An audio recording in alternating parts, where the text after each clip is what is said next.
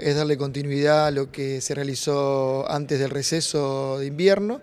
que, que fue, bueno, tuvo mucho, mucha repercusión, mucho interés, lo que motivó también a que sea reconocido con interés institucional por medio del Consejo Superior. Y lo que se está realizando ahora por medio de la coordinación de, de Sandra es este, la reunión de comisiones, ya que la última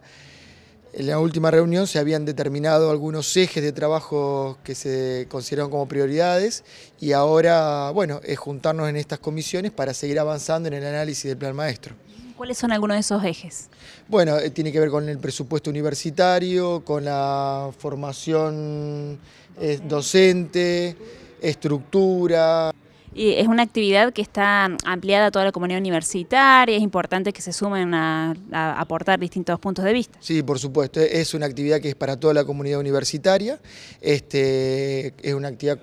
que es importante que estén los estudiantes, que estén bueno, los docentes, los que están también eh,